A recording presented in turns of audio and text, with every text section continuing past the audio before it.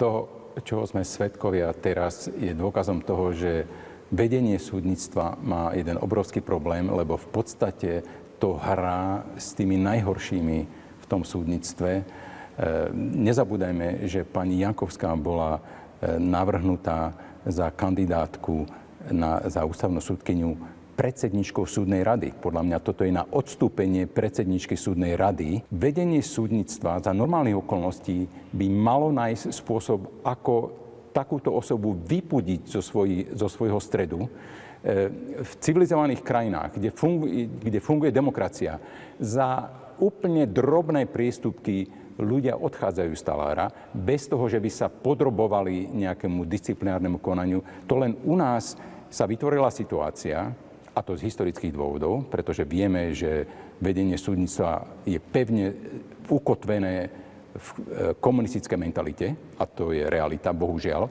že nikto v talári nie je za nič zodpovedný. My sa e, tri štvrte e, občanov Slovenskej republiky si myslí, že súdnictvo je zlé, že je skorumpované. Pozrite sa, koľko bolo trestných stíhaní, koľko bolo disciplinárnych konaní reálne urobených. Pozrime sa, že čo tu robí Harabin úplne beztrestne. Je to systém.